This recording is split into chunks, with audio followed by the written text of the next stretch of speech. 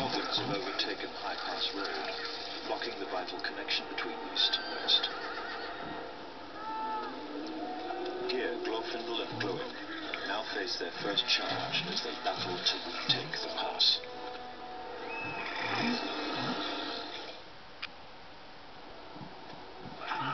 The attack on Rivendell came from farther north. But before we can track the evil to its source, we must clear High Pass of the goblin invaders. High Pass is a dangerous place. We should build up a base before going any further.